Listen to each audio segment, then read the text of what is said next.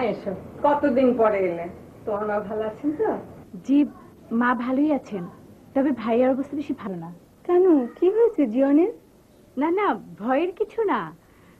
সামনে ফাইনাল পরীক্ষা তো। রাত দিন পড়াশোনা প্র্যাকটিক্যাল ভাইয়া হোস্টেলে গিয়ে উঠেছে। মাথা ন্যাড়া করে ফেলেছে। আরে ভাইয়া বলে আগে জানলে জীবনে আর্কিটেক্ট হতে চাইতাম না। আপনি কেমন আছেন আন্টি? এই আছে একরকম আমাদের থাকা আর না থাকা। এসো মা ভিতরে এসো।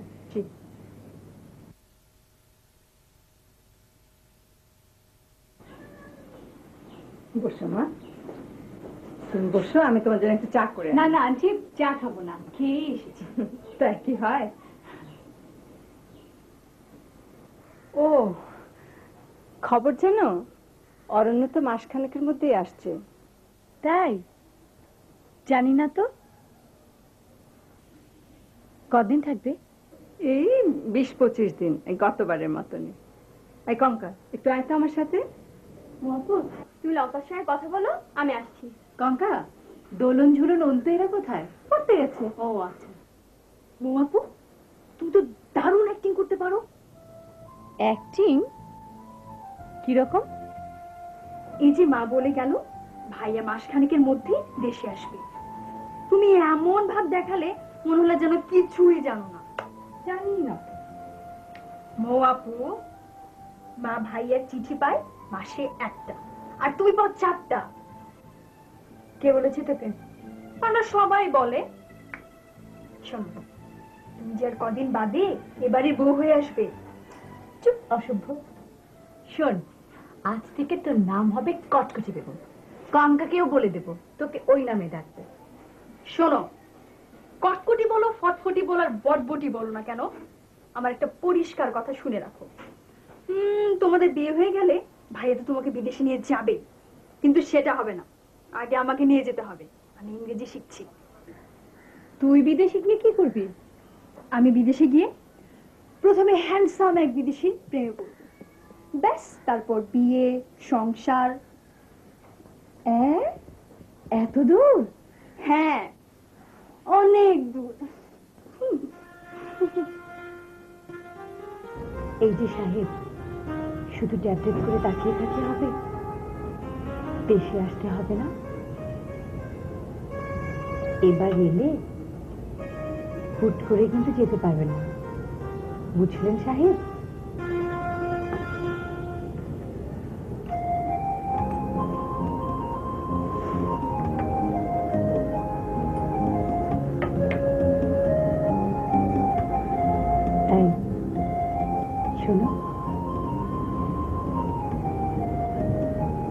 এই মুহূর্তটা দেখলে তোমার কথা খুব মনে পড়ে। পাঁচ বছর আগের সেই দিনটির কথা আপনার মনে আছে, সাহেব?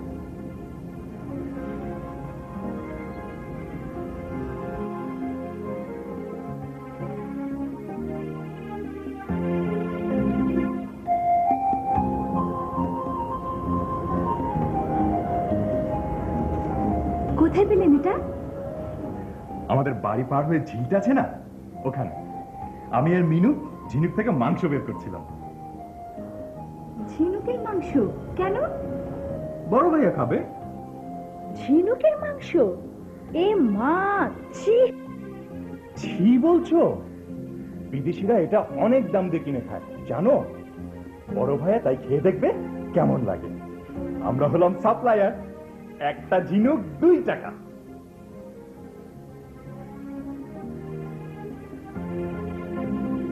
কি যেসব আপনারা করেন না।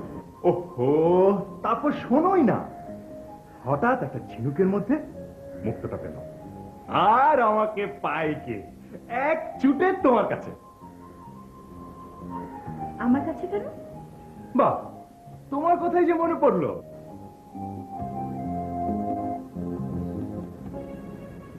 আমার মুক্তটা তোমার কাছে রাখবে? আরে আমি কেন আপনার মুক্ত রাখতে যাব? না মানে মানে আমাদের বাড়ির অবস্থা তো জানোই। হরিঘোষের গোয়াল কোন দিক দিয়ে হারিয়ে যাবে টেরও পাবো না।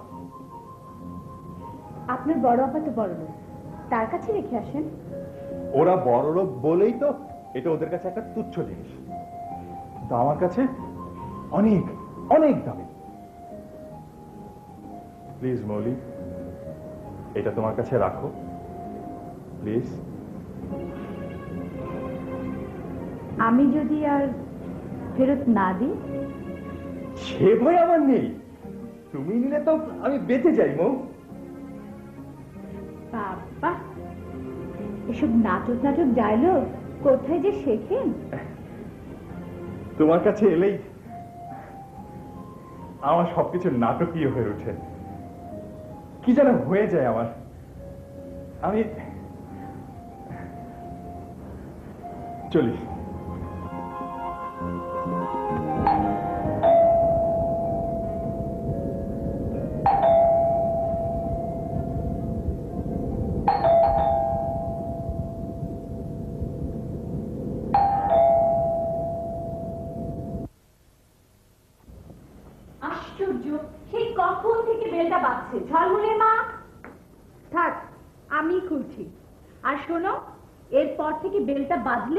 দয়া করে দরজাটা খুলো, বুঝছ? এখন যাও, যা করতেছে যা করো গিয়া। কে?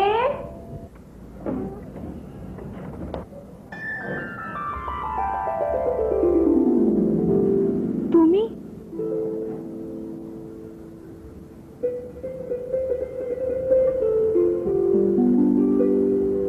স্বপ্ন দেখছি না তো?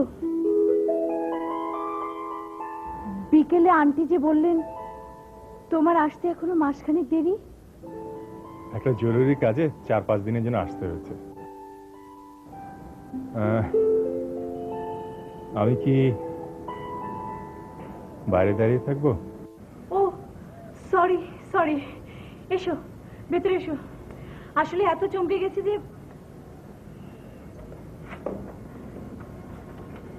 কে কে এলো রে মৌলি আরে অরণ্য যে। থাক থাক বাবা। লক্ষ্মী ছেলে। মাথায় একটু বেড়েছে মনে হয় তাই না রে মৌলি কবে এলে বাবা? এই তো সন্ধ্যাবেলায়। আপনি কেমন আছেন আন্টি? ভালো। জিওন কোথায়? মানে ওকে দেখছি না যে? তোমার বন্ধুর কথা আর বলো না। ফাইনাল পরীক্ষা হোস্টেলে গিয়ে উঠেছে। তুমি বসে একটু গল্প করো আমি চায়ের কথা বলে আসি। না আন্টি চা খাব না। ঠিক আছে।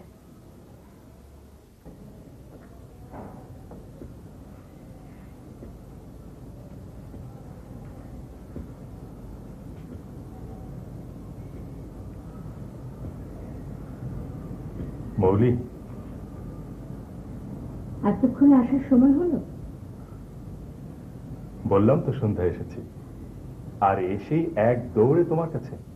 থাক হয়েছে। যদি বলি এই অপূর্ব গ্রীবা ভঙ্গিমা দেখব বলেই দেরি করে এসেছি। মানে? মানে?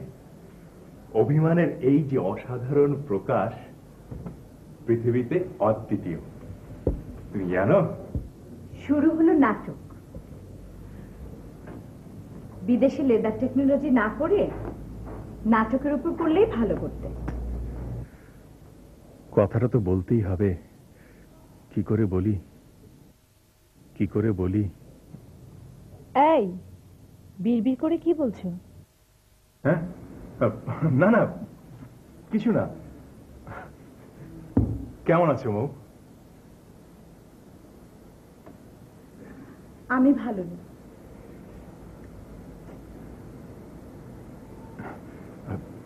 তুমি আগের চেয়ে অনেক সুন্দর হয়েছো।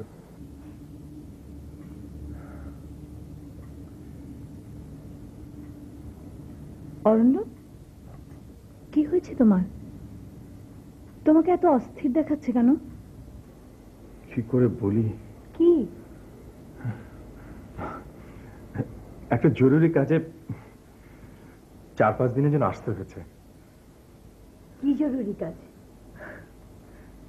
বলব তোমাকে সব বলব। আচ্ছা মৌ তোমার মনে আছে চার বছর আগের কথা? তখন সবে আমাদের আন্ডারস্ট্যান্ডিং হয়েছে। আমি এক দুপুরে তোমার কাছে ছুটে এসেছিলাম। কতদিনই তো এসেছ? ভাইয়ের সঙ্গে গল্প করার ছলে। না না আমি এক বিশেষ দুপুরের কথা বলছি। আমি ছুটে এসে তোমাকে বলেছিলাম, মৌ, আমি একটা ভীষণ খারাপ কাজ করে ফেলেছি। তুমি ভয়ে চমকে উঠেছিলে। তোমার মুখে ছড়িয়ে পড়েছিল আতঙ্ক। তুমি বলেছিলে কি কি করেছ তুমি? আমি বলেছিলাম, একটা সিগারেট খেয়েছি। শুনে তোমার হাসি পেয়েছিল। হাসতে হাসতে বলেছিলে, পুরুষ মানুষ সিগারেট খেলে দোষের কি?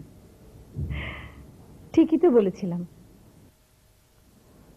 তারপর আর কোনোদিন আমি সিগারেট খাইনি। কিন্তু কানের মধ্যে সবসময় তোমার কথাটা বাজে। মনের মধ্যে কি যেন এক অনুভূতি ঝঙ্কার দিয়ে ওঠে। পুরুষ মানুষ, অনাস্বাদিত এক পুলক। পুরুষ মানুষ। কি হয়েছে তোমার অরণ্য? কেমন অচেনা লাগছে? এসব তুমি কি বলছো? কিছু না। তুমি সত্যি আরও সুন্দর হয়েছ। ভাবছি ডক্টরেটটা করে তবে দেশে ফিরবো।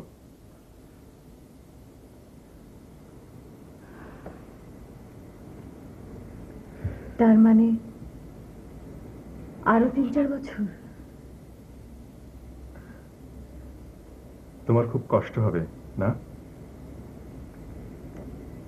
আমারও। ভীষণ। ভীষণ কষ্ট।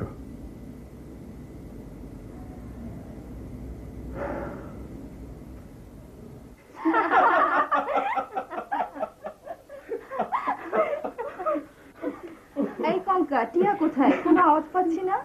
তোমার মেয়ে ঘুমিয়ে পড়েছে। তাই নাকি? কোথায়? মার ঘরে। দোলন ঝোলন আর অন্তু তুই ঘুম পাড়িয়ে নিজেরাও ঘুমিয়ে পড়েছে। আচ্ছা মা কোথায়? বড়াপু মা মনে হয় রান্না শুরু করেছে। রান্না? কেন? জামাই বাবাজিকে খাইয়ে মার হয়তো মন ভরেনি। তাই আবার যা খালি গোল পড়ছে। বড়াপা বিকেলে মলিয়াপা এসে লঙ্কা কি নাম দিয়ে গেছে জানো? কি? কটখটি বেগম এই কে কে কে কে এসে? দুলাভাই মনে হয় একটু নড়ে চড়ে বসলে? নড়ে চড়ে বসবো না। আজ আর শালা তো বউ। কি? কি বউ? আরে বাবা শালার হবু বউ। এই চুপ!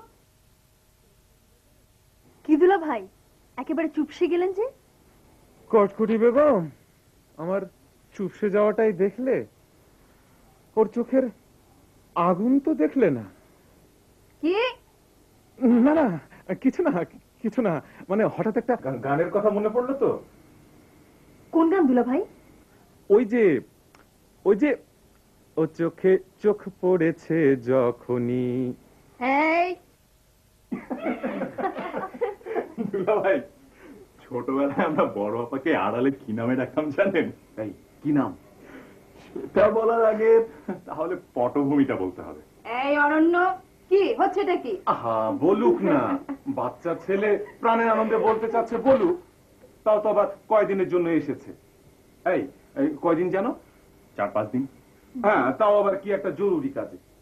আচ্ছা তোমার জরুরি কাজটা আসলে কি? কোনো মাফিয়া চক্রে যোগটুক দাওনি তো? আহ, দুলাভাই আপনি কিন্তু প্রসঙ্গ থেকে অন্যদিকে চলে যান ও সরি সরি সরি কি যেন ছিল প্রসঙ্গটা? ও হ্যাঁ পটভূমি। থাক আর পটভূমি ঘাটতে হবে না। আমি বলে দিচ্ছি ওরা আমাকে দারোগা ডাকতো দারোগা। দারোগা? হ্যাঁ কারণ আমি ছিলাম ওদের এক নম্বর শত্রু।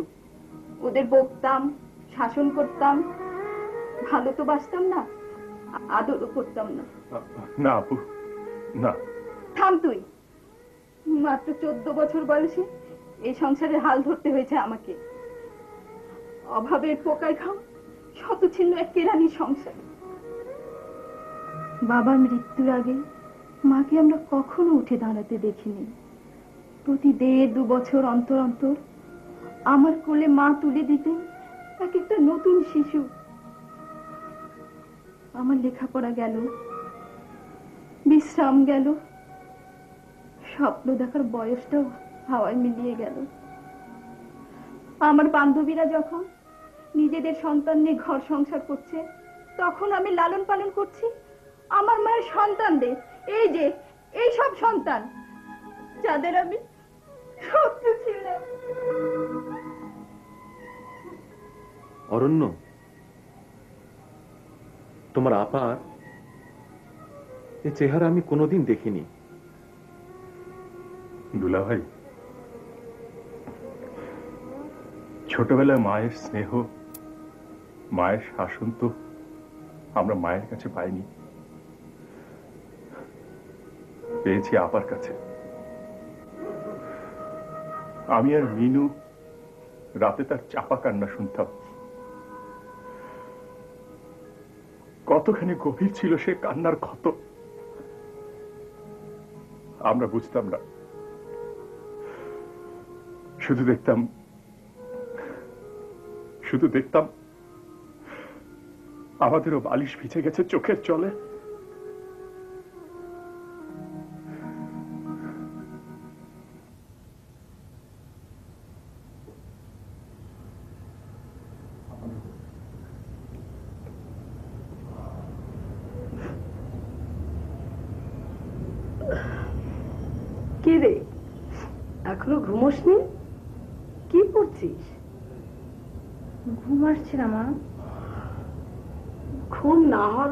কবে থেকে হলো? কি জানি? আজ কিছুতেই ঘুম আসছে না মা। এরকম হয়। নার্ভ খুব উত্তেজিত থাকলে মাঝে মাঝে অনিদ্রা হয়। হ্যাঁ রে। অরণ্য কিছু বলল। কি বলবে? এই কবে ওর লেখাপড়া শেষ হবে? কবে সানাই বাজবে? যাও। তুমি না মাঝে মাঝে বাচ্চাদের মতো করো। ওর ফিরতে এখনও অনেক দেরি। ডক্টরেট করবে তবে ফিরবে। ও মা এতদিন পর্যন্ত আমার মেয়ে আইবুড়ো থাকবে নাকি? আবার? যাও তো ঘুমো গিয়ে।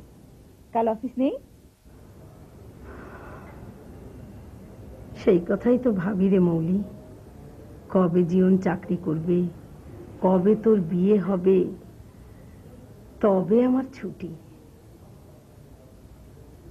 চাকরি করতে আবার আর ভালো লাগে না রে। মা, এরকম কথা শুনলে আমার খুব কষ্ট হয়। তুমি বোঝো না,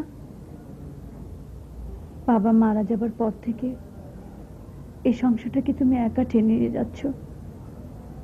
তোমার কত খাটতে হয় মা, আমি কি একটা পার্ট টাইম চাকরি নেব? অনার্সের পরে তো প্রায় বসেই আছি। আমি কি তাই বলেছি? পাগলি মেয়ে আমার। হ্যাঁ রে অরণ্যকে কেমন দেখলি? কি কাজে এসেছে? ও যেন কেমন বদলে গেছে, মা। গতবার যখন এসেছিল, কত উচ্ছল ছিল।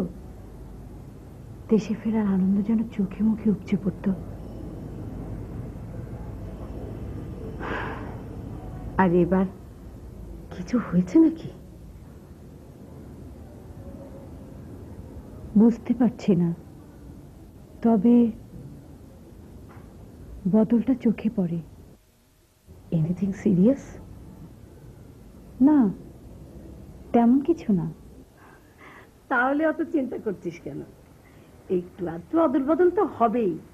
বয়স বাড়ছে, অভিজ্ঞতা বাড়ছে, ও নিয়ে তুই অত চিন্তা করিস না, এবার ঘুমিয়ে পড়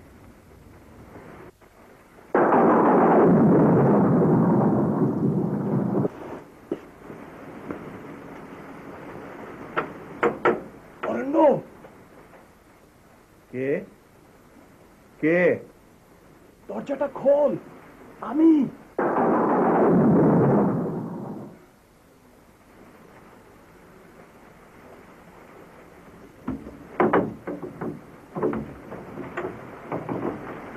মিনু তুই এই বৃষ্টির মধ্যে?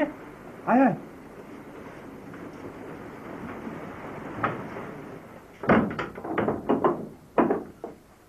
চলে এলাম। তোর জন্যই চলে এলাম। আমার জন্য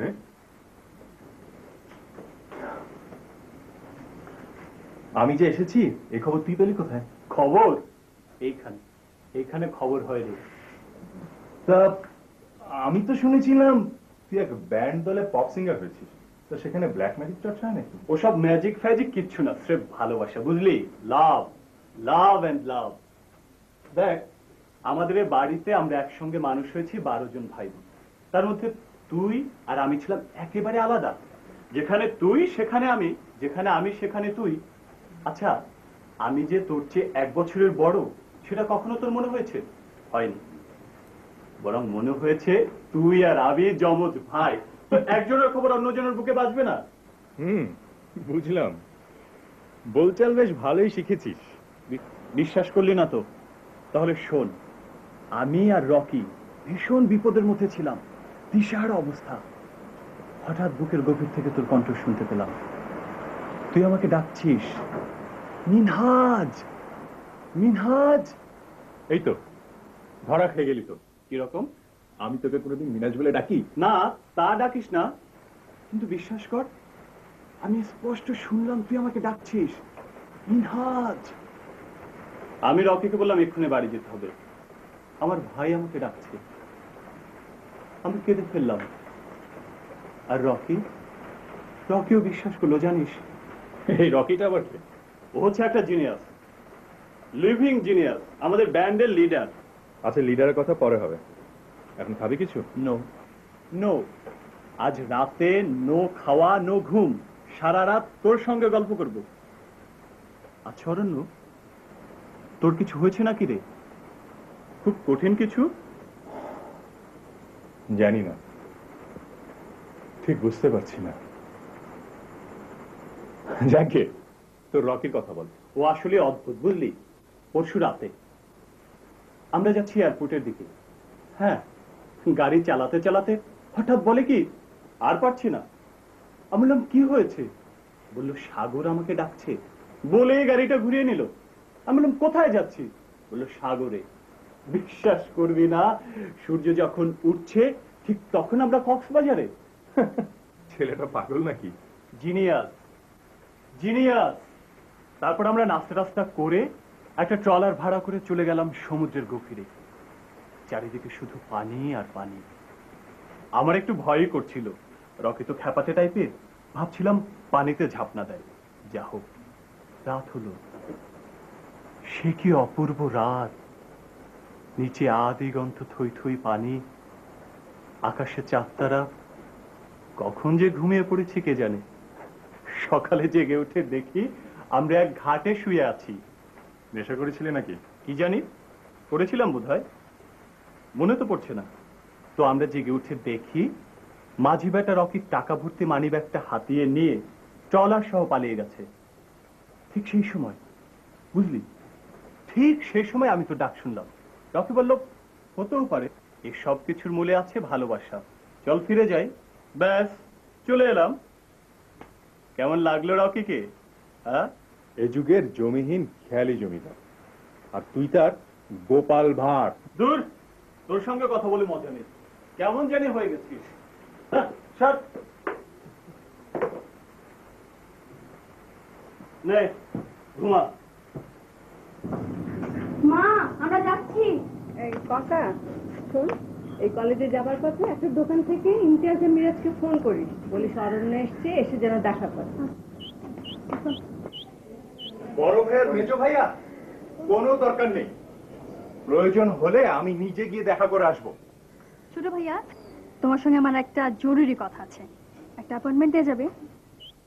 বাবা একেবারে অফিসিয়াল ডেকোরাম তা আপনি কখন সময় চান মাননীয়া?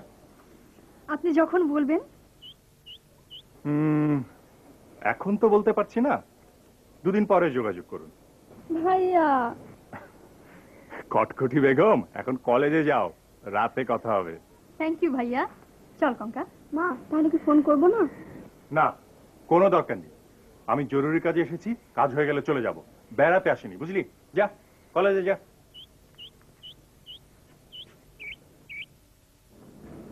তোর কি হয়েছে বলতো? ইমতিয়াজ আর মিরাজকে ফোন করতে দিলি না কেন? কিছু না। আচ্ছা মিনুর আক্কেলটা দেখলে কাল রাতে বৃষ্টির মধ্যে এলো। সকালে না বলেই চলে গেল। তাও তো ভালো। তোর সাথে দেখা হলো। আমি তো চোখের দেখাও দেখি না। আমি তো মা নাকি ও তাহলে বাড়িতেই আসে না? আচ্ছা ও কোথায় থাকে বা রিহার্সেল করে জানো? কঙ্কার ডায়েরিতে ঠিকানা লেখা আছে। ওখানেই নাকি গান বাজনা করে। ঠিক আছে। আজ দেখো ওকে ঠিকই ধরে আনব।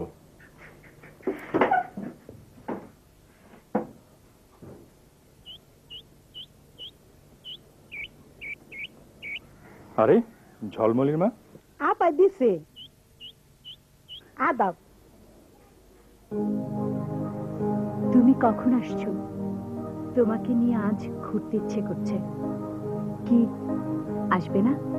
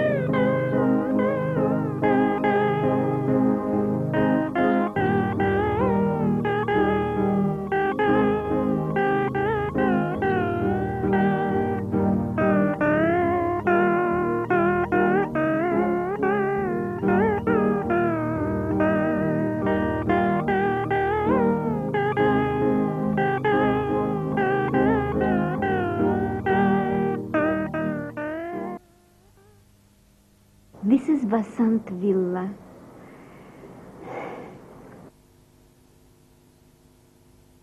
Excuse me, may I talk to you? কিছু বলবেন? Yes.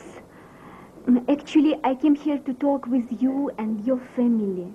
আমি কি ভিতরে যাইতে পারেন? আপনি আপনি বাংলা বলতে পারেন? পারে। কিছু কিছু বলতে পারে। আসুন আসুন ভেতরে আসুন।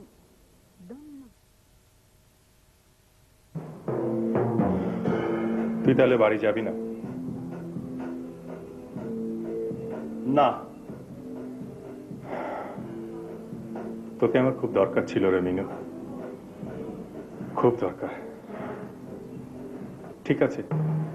যা তুই রিহার্সাল কর। আমি যাই। রাগ করলি? চল যাই। সে কি? তুই রিহার্সাল করবি না? ধুর ওসব আর ভালো লাগে না। অল্প গাছ। আশ্চর্য কাল রাতেই তো কত ভালো ভালো কথা বললি। কি জানো নাম?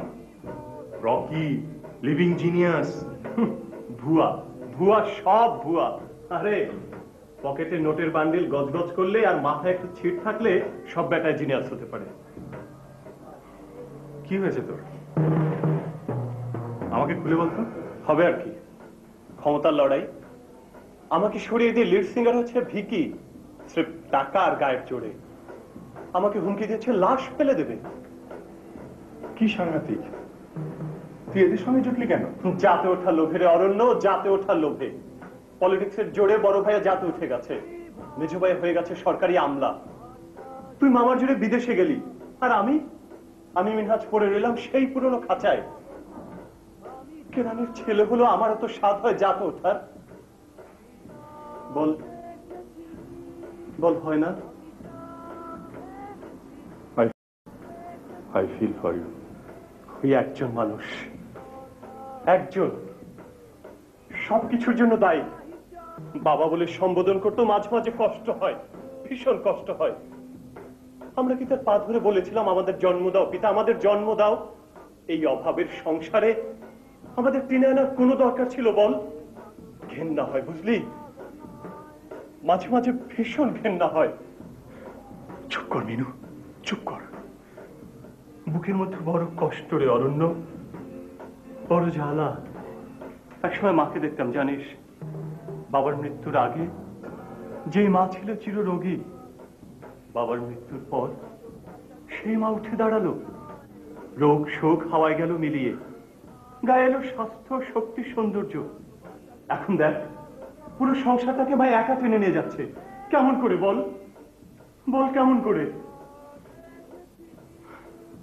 ওসব করার থাক এখন। চল, বাড়ি চল।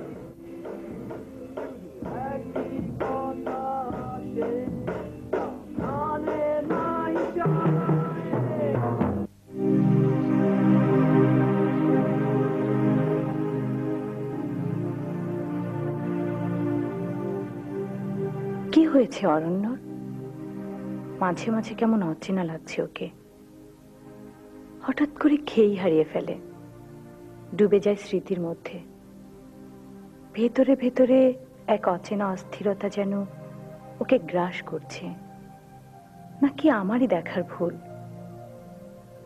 লন্ডনের কথা কি যেন বলছিল? ও হ্যাঁ প্রতি সামারে ওরা লন্ডনে যায়। কিসব বিক্রি করে টাকা রোজগার করে? আচ্ছা কি বিক্রি করে ওরা? কোনো নিষিদ্ধ কিছু নয় তো? তারপর ওই যে কি যেন নাম বলেছিল অরণ্য? সাবেরি আপা। তার প্রেমিক তো একজন স্মাগলার ও মাই গড! অরণ্য ওদের খপ্পরে পড়েনি তো?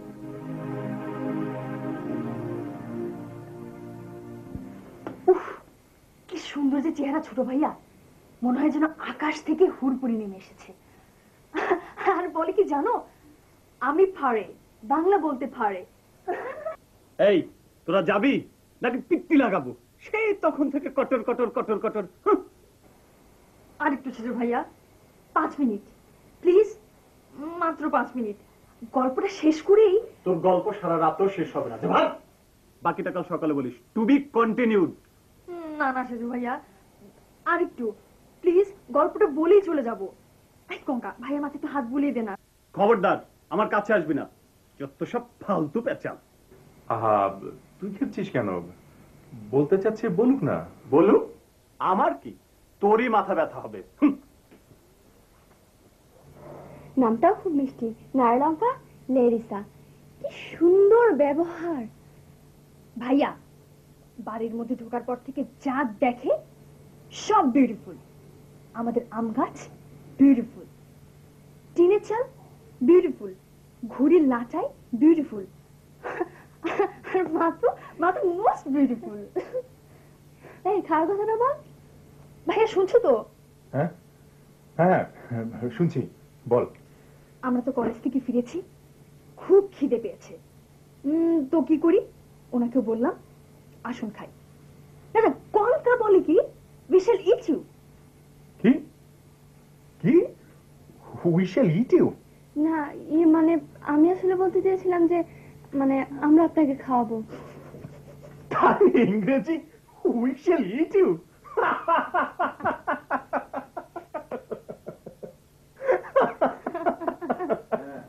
আরে হলো কি রে? বাড়িতে কি থাকতে দেবে নাকি বিদায় হব? Minu we shall eat you কি? আমাকে খাবি?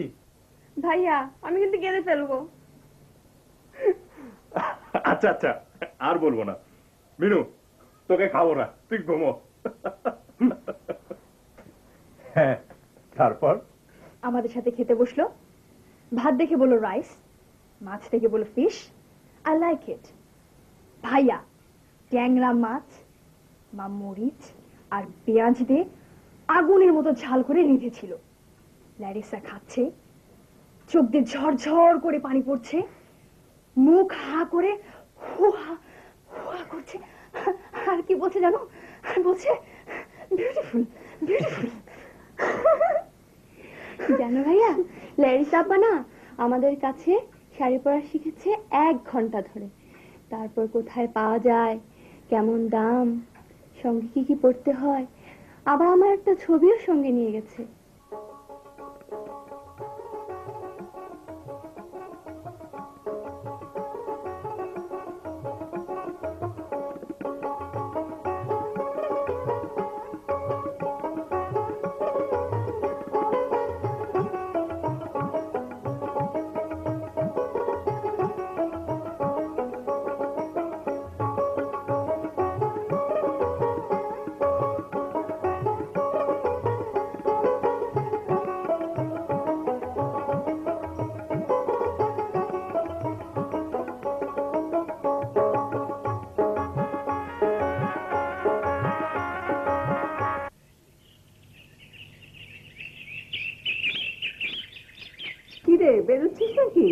হ্যাঁ মা। দুপুরে আসবি তো? নাকি কালকের মতন? তা তো বলতে পারছি না। ও মা কাল বড় ভাইয়ের অফিসে গিয়ে দেখি এলাহি কাণ্ড রাজকীয় ব্যাপার স্যাপার। তা তোমার সংসার খরচের টাকা ঠিক মতো দিচ্ছে তো? তা দিচ্ছে। দিচ্ছে বলেই তো এখনও আমরা খেয়ে পড়ে বেঁচে আছি। ও টাকাটা নিতে আজকাল সম্মানে বড় বাঠে রে। এই কথা বলছো কেন মা? শ্বশুরের দৌলাতে ও এখন উঁচু ডালের পাখি। শ্রেণি বদলে গেছে ওর। শ্রেণি? শ্রেণি কথাটার মানে তুমি বোঝো মা? আমি বুঝি না রে অরণ্য। জীবন ঘাট ধরে বোঝায়। নিজের পেটের সন্তান যখন বড়লোক হয়ে গরিব মাকে মাস মাসকাবারি টাকাটা পিয়নের হাতে পাঠিয়ে দেয় দায়িত্ব সারে তখন টের পাই শ্রেণি কাকে বলে। মা তুমি তো দেখি মার্কসিস্ট হয়ে গেছো। তোরা কত কঠিন করে কথা বলিস বুঝি না রে। বড় খোকা বিয়ে করে একটা দিনের জন্য বউটাকে আমার কাছে রাখল না। বলে পাড়ার পরিবেশ ভালো না ময়লা দুর্গন্ধ। মেজা তো চিরকালই স্বার্থপর। বিয়ে করে সাফ সাফ বলে দিল, আলাদা থাকবে। কি আমার কপাল?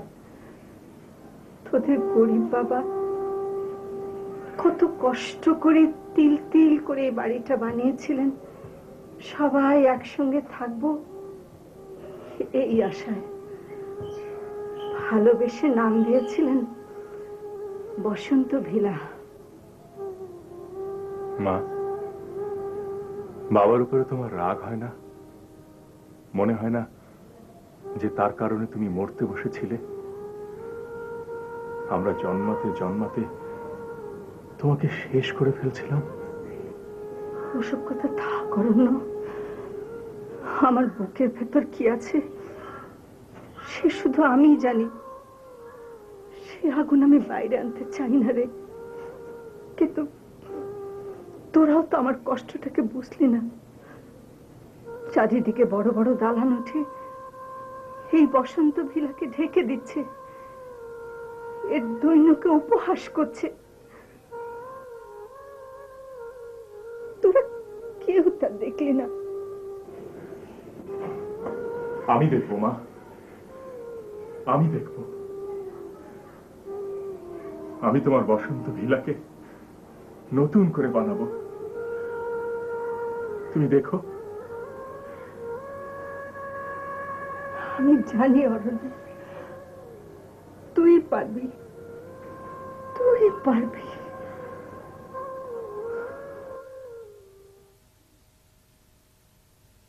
তুমি? পথ ভুলে নাকি? পথ ভুলে মানে? তোমার দেখা পাওয়া তো আজকাল ভাগ্যের ব্যাপার। বিজিয়েস্ট পারসন কত কাজ? কাল আসতে পারিনি বলে খুব রেগে আছো, না? সরি মৌলি এক্সট্রিমলি সরি আসলে মিনুর জন্য এমন ভাবে ফেসে গেলাম যে আচ্ছা আচ্ছা সবার কি হয়েছে বলো তো? মিনুর মাথা থেকে ব্যান্ডের ভূত নেমে এখন চেপেছে বিদেশে যাওয়ার ভূত। কাল কাদের মামার কাছে নিয়ে গেলাম, বড় ভাইয়ের কাছে গেলাম তারপর লঙ্কা সেও ঝুল ধরেছে বিদেশে যাবে। ইংলিশ কোর্স করছে। হ্যাঁ বিদেশি মহিলাদেরও আনাগোনা শুরু হয়েছে। বিদেশি মহিলা? এ খবর তুমি পেলে কোথায়? একই পাড়ায় থাকি। খবর তো বাতাসেই ভাসি অরণ্য সাহেব। আরও একটা খবর বলি। যে মিনহাজ ভাইয়ের কারণে তুমি কাল আসতে পারোনি সে কিন্তু বাসায় ফিরেছে দুপুর আড়াইটায়। আর তুমি? তুমি ফিরেছ রাত এগারোটায়। না মানে আমার একটু জরুরি কাজ ছিল। কি কাজ? জানতে পারি কি? তুমি কি আমাকে সন্দেহ করছ? নট ইয়েট শুধু বুঝতে চেষ্টা করছি। কি? কি বুঝতে চাচ্ছ তুমি? আমার প্রশ্নের উত্তর কিন্তু এখনও পাইনি। বেশ তাহলে শোনো। আমি কাল সাবেরিয়াপার বাসায় গিয়েছিলাম। কেন? মানে? মানে কেন গিয়েছিলে তার বাসায়? তোমার সঙ্গে তার কি সম্পর্ক? বিদেশে থাকা অবস্থাতেও তুমি প্রায়ই তার বাসায় যেতে। আজ আমি পরিষ্কার করে জানতে চাচ্ছি ওই ডিভোর্সি মহিলার সঙ্গে তোমার কি সম্পর্ক? বিহেভ উনি আমার চেয়ে দশ বছরের বড়। সো হোয়াট ওইসব নোংরা সম্পর্ক করতে আবার বয়স লাগে নাকি? মৌলি তুমি তোমার সীমা অতিক্রম করছ। সাবেরি আপাকে আমি বড় বোনের মতো শ্রদ্ধা করি। She is a real struggler বুঝেছ? তোমাদের মতো ননির পুতুল নয়। আর তাই রিয়েল স্ট্রাগলারের অনুপ্রেরণায় তার স্মাগলার বয়ফ্রেন্ডের দলে গিয়ে ফিরেছ তুমি। না? ছি অরণ্য ছি। শেষ পর্যন্ত তুমি স্মাগলার হয়ে গেলে? Mouli you must be crazy Jhalmali মা ওনাকে চাটা দাও। আর আমাকে যেন কেউ বিরক্ত না করে। মৌলি মৌলি আমার কথা শোনো। Mouli! Please Aranya leave me alone.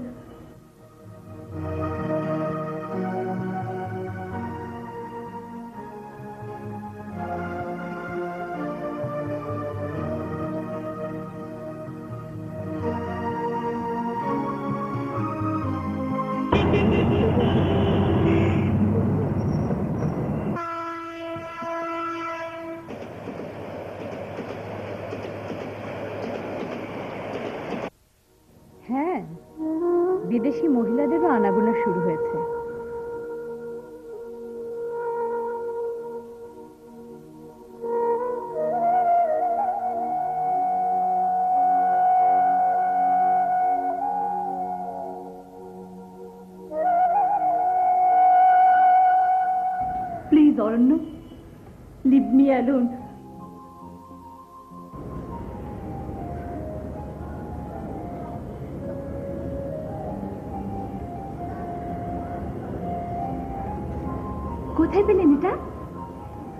আমাদের বাড়ি পার হয়ে ঝিলটা আছে না? ওখানে।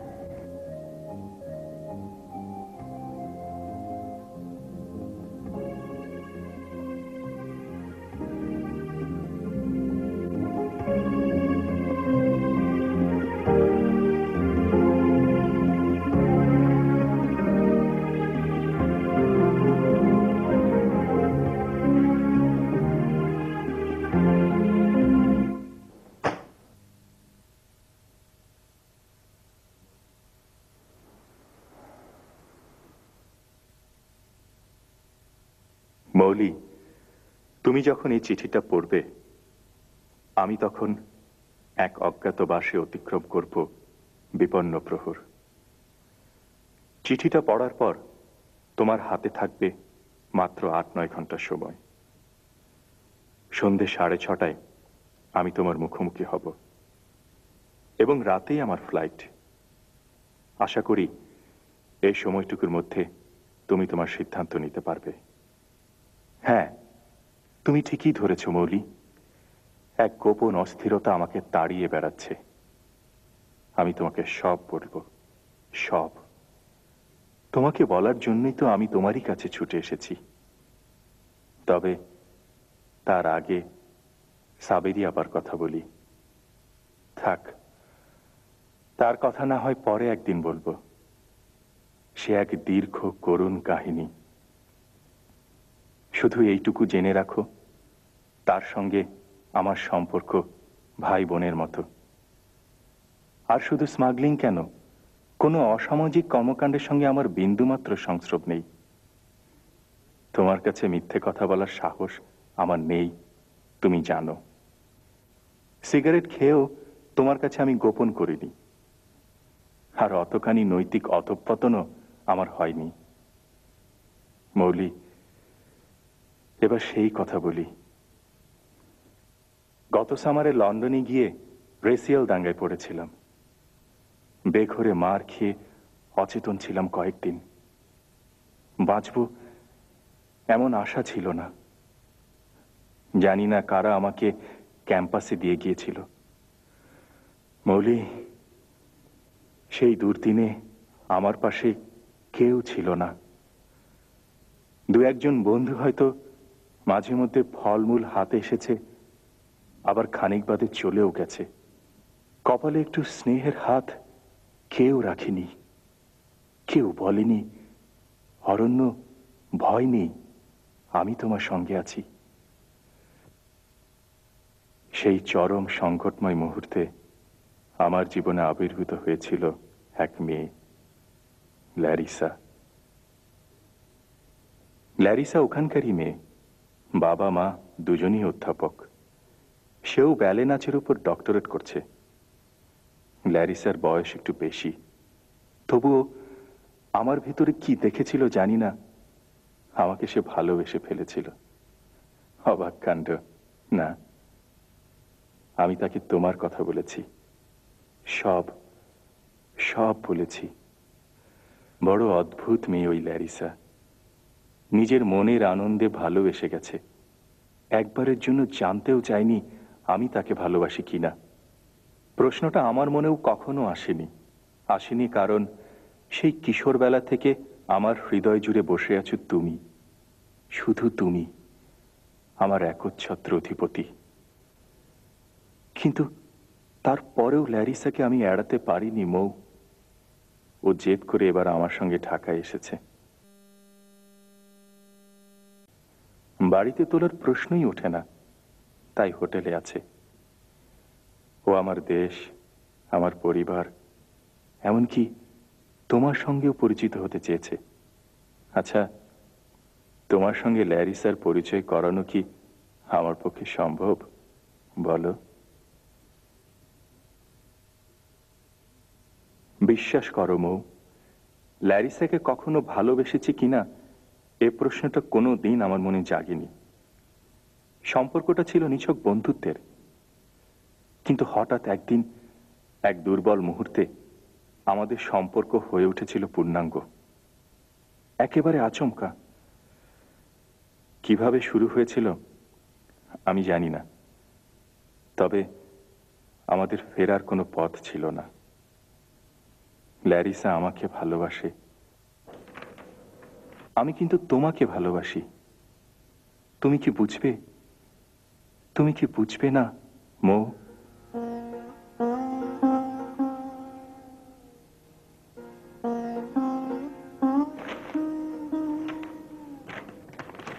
ল্যারিসা তুমি আমাদের দেশ দেখতে চেয়েছিলে।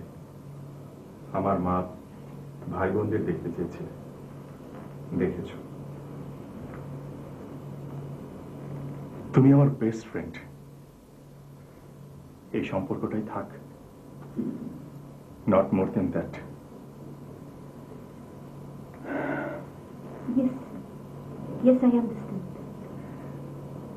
আজ রাতেই তোমার ফ্লাইট সো তুমি? আমি আরও কয়েকদিন পরে আসব। মৌলির সঙ্গে বিয়েটা সেরে তবে যাব।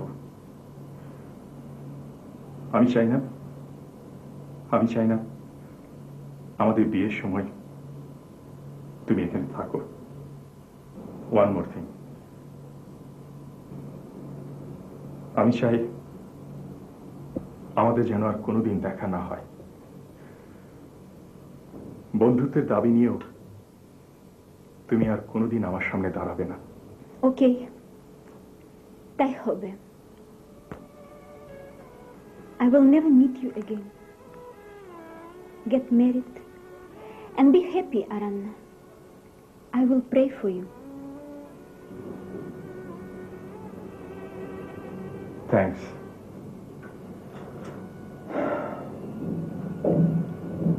bye Larry But I shall love you whether you want it or not. মানে what do mean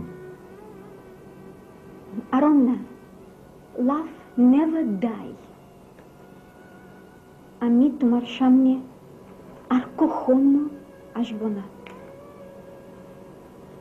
this is your order okay I shall obey কিন্তু আমার ভালোবাসা অধিকার তুমি কেড়ে নিতে পারবে না নেভার নেভার সারা জীবন আমি তোমাকে ভালোবাসে যাব তুমি চাও বা না চাও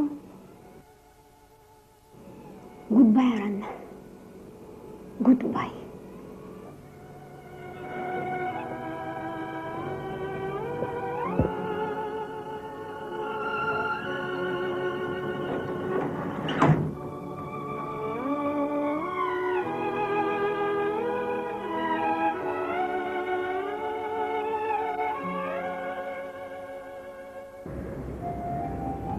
আমার মুক্তটা তোমার কাছে রাখবে?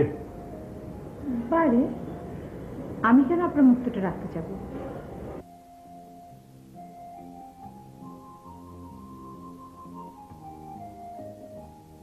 আপা!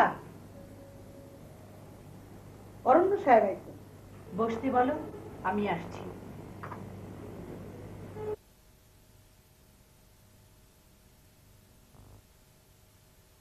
বসো। জরুরি কথা আছে। না আমি আমার সিদ্ধান্তটা এখানে দাঁড়িয়ে জানাতে চাই। এক মিনিট। তোমার সিদ্ধান্ত শোনার আগে আমার সিদ্ধান্তটা একটু শোনো। আমি আজ রাতে যাচ্ছি না। তোমার যদি কোনো আপত্তি না থাকে আগামীকালই আমাদের এঙ্গেজমেন্টটা সেরে ফেলতে চাই। এবং এ সপ্তাহে আমাদের বিয়েটাও। তুমি নিতান্ত করুণা পাত্র অরণ্য। আমি যেমন মন প্রাণ অন্তর দিয়ে তোমাকে ভালোবেসেছিলাম ল্যারিসাও তোমাকে মন প্রাণ অন্তর দিয়ে ভালোবেসেই তোমার অন্তরঙ্গতা পেয়েছে। আমি একটা মেয়ে আমি বুঝি।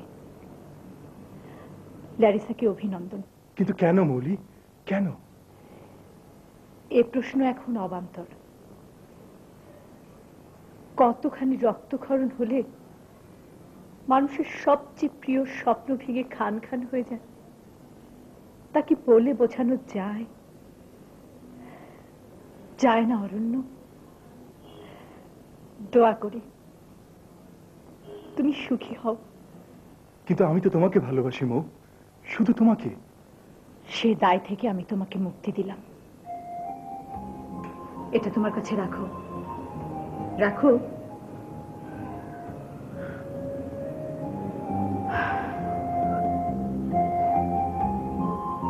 মুক্ত?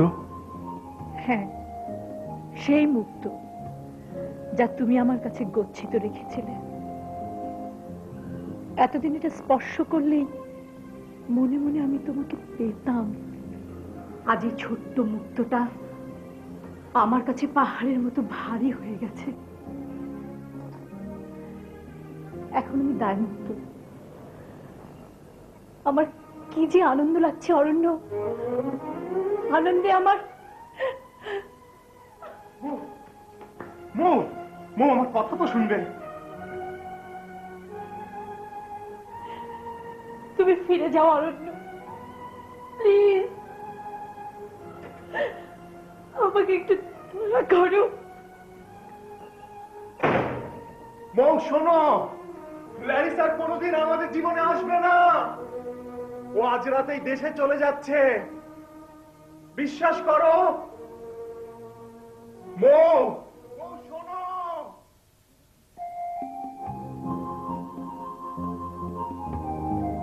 আমি যদি আর ফেরত না দিই? সে ভয় আমার নেই। তুমি নিলে তো আমি বেঁচে যাই মো।